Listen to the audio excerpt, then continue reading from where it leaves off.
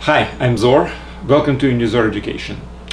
We continue um, talking about random variables and after the introduction uh, to random variables which was during the last lecture um, let's talk about certain properties of random variables and today's theme is expected value of the random variables.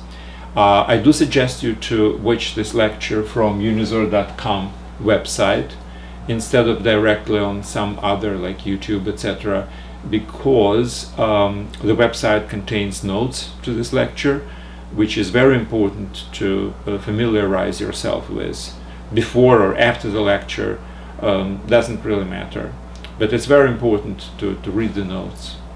Um, okay so back to expected value now before presenting this in a purely theoretical form I would like to um, to have a couple of examples where um, it would be quite obvious actually what expected value is okay example number one okay the game of roulette so the game of roulette is when, um, well, you have a wheel with different partitions.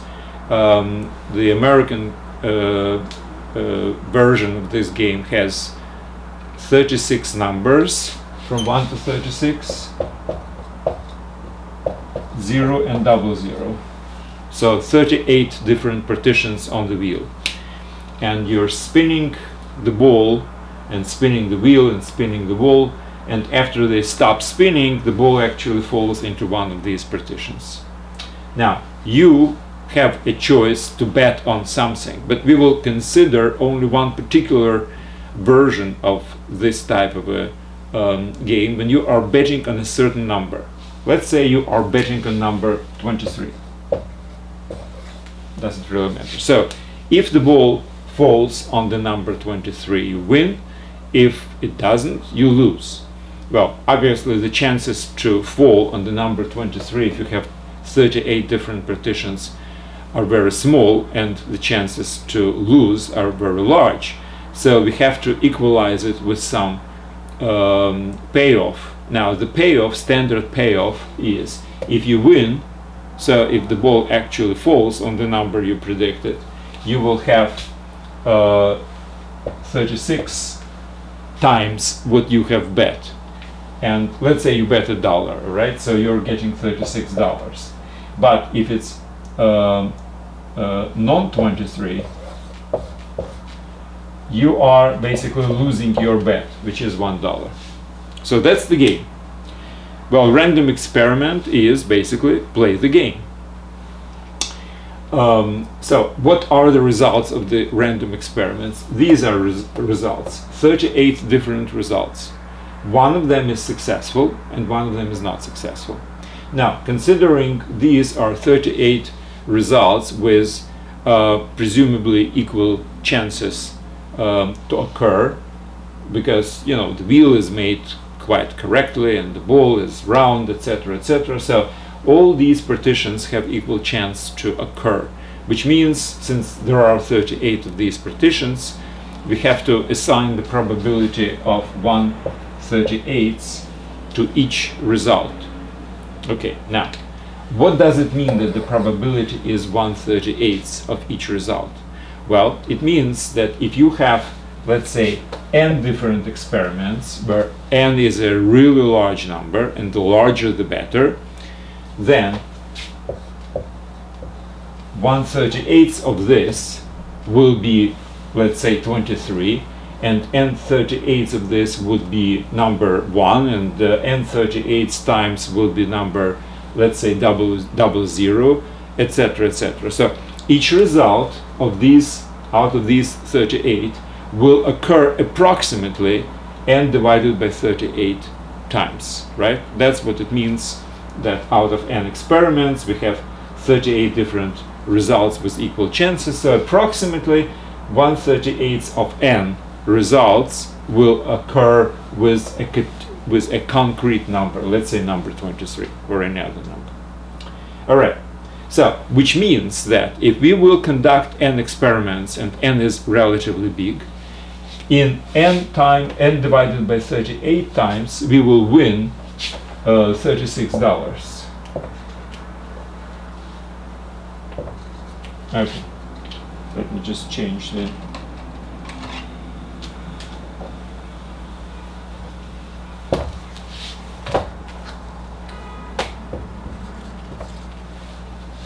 in all other cases, and how many all other cases? If n divided by 38 is winning, then 37 uh, times n divided by 38. All other, they are the losing um, uh, result. So you will lose one dollar. So you have to subtract times one dollar. So what's the result of this arithmetic? Well, the result is um, minus n divided by 38, right? This is 36 and this is 37, so it will be minus 1n. All right? So, this is approximately the monetary result of n games. Approximately, which means that the n is, as the n is increasing, it will be closer and closer to this but not necessarily. I mean, you can play 10 games and you can win 10 times. Yes, in theory it is possible, although unlikely. But if you will go through, I know, 1 million games, more or less it will be approximately something like this. So there are certain theorems which are basically saying um, they are estimating the, the, the closeness of the real results to this average result. Now, okay, so if this is approximately the monetary result of your um, playing n games, then average per game would be divided by n, right? So per game average is result is this.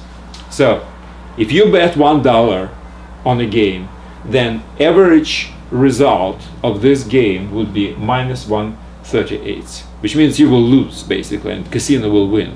And that's how casino is making money on averages. You see if the number of people is great and everyone is, is, is playing many different games and the average per game is something like this then as the number of people grows the result will be closer and closer for the casino to win 138th of each dollar well, basically that's an example. And um, what I wanted actually to say is that this average obviously is not necessarily something which really occurs. I mean, if you bet a dollar, you either lose a dollar or you win $36. You will never lose uh, 1 38th of a dollar. But again, among many, many different games, if you average it by the number of game, that would be uh, the, the, the, result with the number of games relatively large. Now, ideally, I mean, speaking mathematically, if n tends to infinity, then the uh, net result of the average per game would tend to minus 138. Okay, so, so that, that's this particular example. Let's consider another example.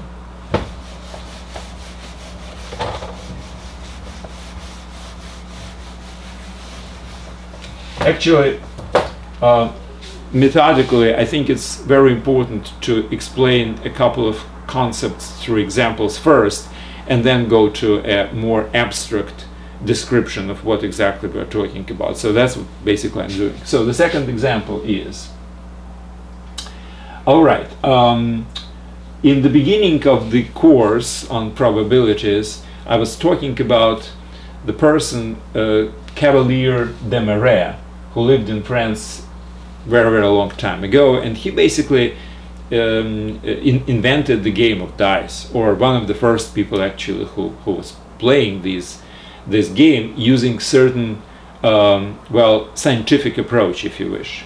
So he was trying to modify the uh, the basic game and his proposition was let's play the following game. We will roll four dices four, four dice, or, or we will roll one dice four times, doesn't really matter. And as a result of this experiment, we will look for the number one appearing among all these four dice. If it appears, then the Cavalier de Méré, who actually uh, invented this particular game, would consider himself a winner. If if he loses, obviously, uh, he will pay whatever whatever the amount he, he bet. So let's say again he bet one. I shouldn't say dollar. There were no dollars at the time. Whatever the one is, one doublon or whatever. So he paid one. He he bet one, and now we have four dice, and we are looking for uh, number one to appear among these fours, among, among these four dice. All right, how can we calculate the probability? Well, we actually uh, talked about this particular problem uh, during the regular uh, lectures on probabilities, and the uh, the really convenient way to do it is um, you see, one can appear on one dice or on two dice and three or four or four dice. I mean, each one of these events has its own probability. It's easier to um, to calculate the opposite probability that there are no ones, which means that uh, the probability of not of not having any one uh, on four dice is um, the combination of probabilities of having not one on each one of those, right? So the probability is 5 over 6 for the first dice not to have one, right? Out of six different sides of the cube, five are not one, and one, one is, and only one side is one. Now, but with each of these, we have five different uh, versions for the second dice, uh, five different sides for the second dice, and five different for the third, and five different for the fourth, right? So these are number of combinations which are uh, considered to be the non-one containing combination. So it's 5 times 5 times times times 5 and the number of total combinations is 6 times 6 times 6 times 6. So that's what actually the probability of not having dice, which is approximately 04823. Okay, so this is the probability of not having any ones on, uh, on the four dice. And obviously the probability of having one, so this is not one. So the probability of having one, either one, one or two ones or three ones or, or four, four ones, is the opposite of this, which is 1 minus 5, 6 to the fourth, which is approximately 0. Point, uh, 0 0.5177. Okay. Now, so here is the game.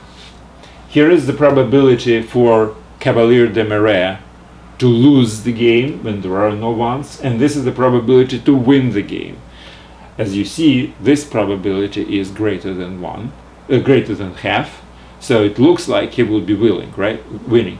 So how can we calculate it in quantitative uh, terms? Well, again, let's consider we are playing end games against Cavalier de Méré, or he's playing end games against us.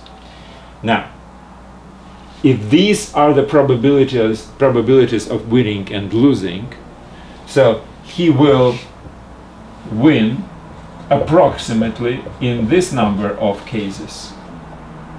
He will win his one doublon or louis or whatever else and he will lose, I put the minus sign, in these number of cases.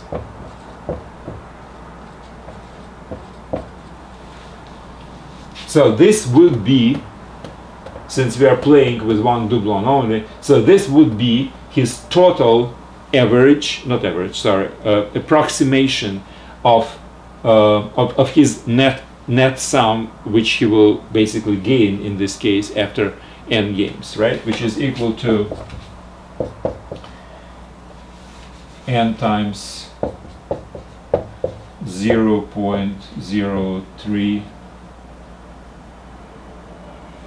0.0354. So this is the net amount he might approximately gain after playing n games if n is a significantly large number. so per game, excuse me, so per game we have to divide it by n, it will be 0.0354. So this is his average win per game. It doesn't mean that he will actually win this particular amount every game, obviously not. He can either win one or lose one, not obviously this amount, but on average, if he will play a large number of games, then his average win per game would be this. So this is how I'm basically approaching the uh, concept of expected value. I'm calculating the approximate value uh, of winning or, or losing or whatever per one particular random experiment. That's the idea. And that is a characterization of the random experiment itself, or the game in this particular case. So if my average per game is positive, like in this particular case, then it makes sense for the person actually who play this way, like Cavalier de Méré in this case, to play the game. Because since on average he will be winning uh, each game, so even if he will win something and lose something, the winning will exceed the losing eventually as the number of experiments um, goes to infinity. Doesn't mean that he will win during the first five games. He might lose actually. But again, his purpose is to make the number of games as, as, as big as possible. And that's what makes actually him as a net winner. Same thing with casino in the previous game of roulette, which I was talking about, the casino's purpose is to uh, invite as many people as possible and force them to, well, encourage them, I shouldn't say force, encourage them to play as much as possible because only the numbers will give the net result for uh, Cavalier de Méré or for a casino uh, um, the results which is close to this theoretical average. All right. So that's it for examples, and now let's go to a pure theory. Now, pure theory is going along exactly the same uh, way as I was explaining in the examples. So first of all, we have to describe our um, uh, random events. So this is, let's call it omega, a combination of certain elementary events, right? Now, we might have, let's say, k different elementary events. Now, in case of roulette, we have 38 different results of the experiment, elementary events, right? In case of Cavalier de Méré, we have only two, basically. There is one or there is no one among these four dice. so there are only two. Now, the second thing which we need is the probabilities of these events. So let's say we know the probabilities of these elementary events. Now, in case of roulette, it was 138 per each of them. In case of the game suggested by Cavalier de Méré, when there are only two events, one was uh, 0.51 something and another was 0.48 something but the sum of them obviously is supposed to be equal to 1. Alright, um, now, next, next is, we are talking about certain random variable which is, well, in case of our examples, is a winning, basically, the amount you win. Well, okay, it depends on the elementary events, right?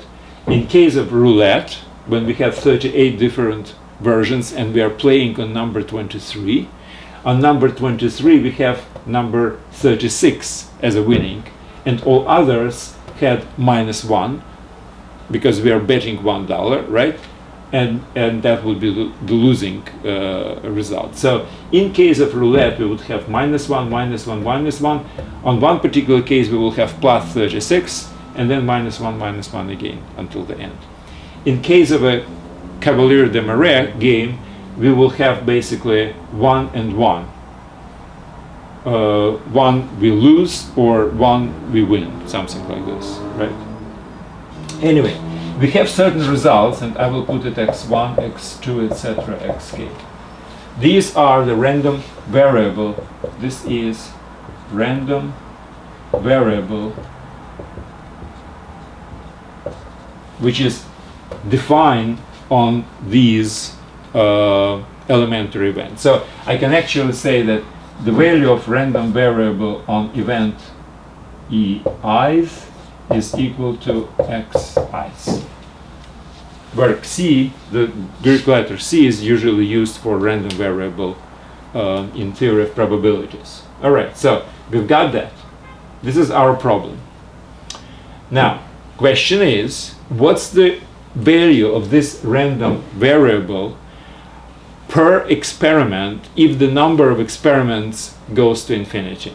That's what we're looking for. Our average win per uh, experiment, per, per, per number of experiments, if the number of experiments is very large. I mean, that's what gives us the, the, the feeling for uh, kind of evaluating the game. Is it worth actually to play this particular game in the casino?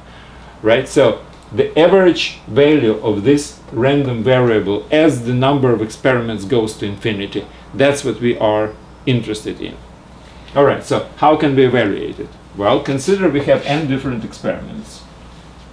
Now, if n is a very large number, then what are the results of these experiments? Well, approximately in uh, n times p1 cases, the result would be E1. Approximately in n number P2 cases, the result will be E2, etc. And the n number Pk cases, the result would be E, E case, right? Because that's what probability actually means. If we put these probabilities uh, for these elementary events, the meaning of the probability is so if this is 138, 138, 138, it means that if n is multiplied by the probability, it will be n divided by 38. We will have one particular result of the uh, spinning wheel, let's say result 23 or 0 or double 0 or whatever else, right? So that's what it means. This is basically the definition of the concept of a probability. And since the results will be E1, E2, EK, the the value of our random variable will be x1, x2, and x, x, xk, right? So, what's the average? Well, if we have n different values of our random variable, then the sum of these divided by the total number of variables, uh, total number of experiments, sorry, is equal to the average per experiment, right? So in n times p1 cases, my value is x1.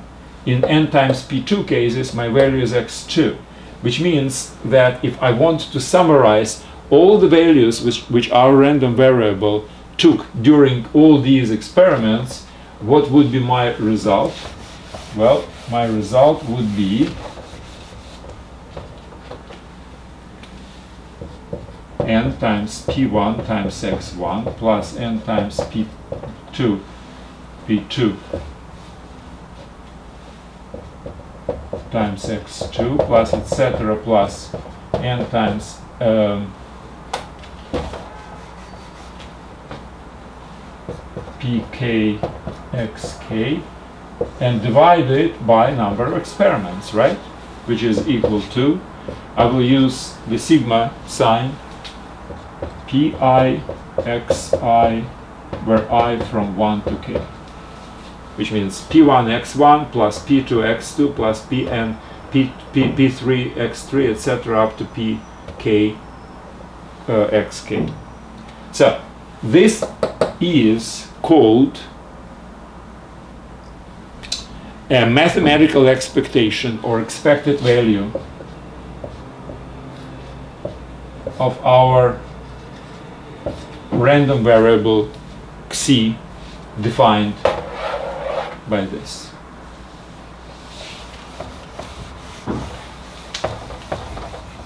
So all we did is we calculated what's the average value of our random variable.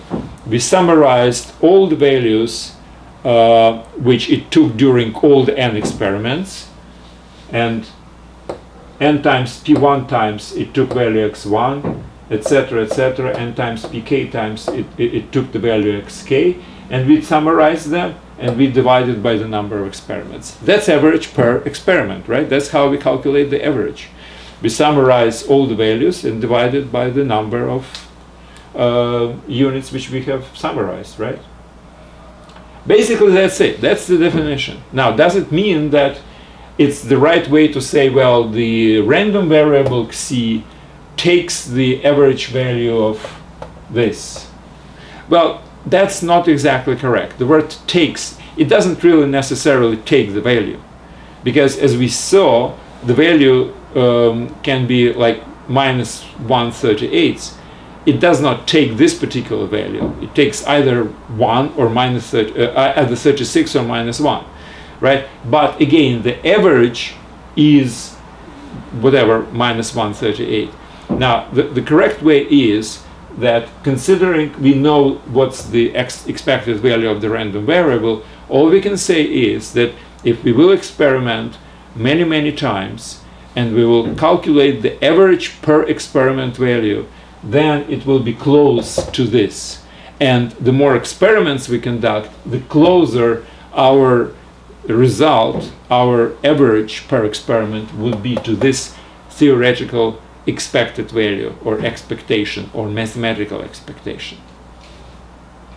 All right, so um, next lecture I'll probably devote to a couple of examples how to calculate this expected value.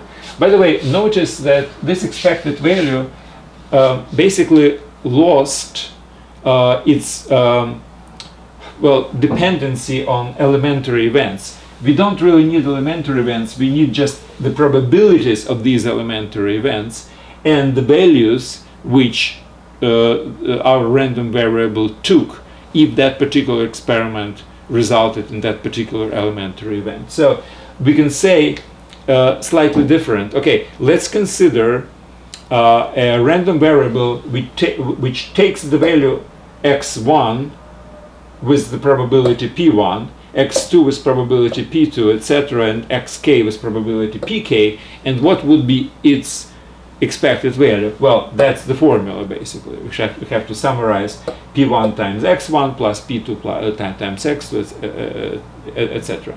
So um, basically, there is no elementary event involved in this uh, particular phraseology, if you wish all we need is the values of the random variable and the probabilities it takes these values.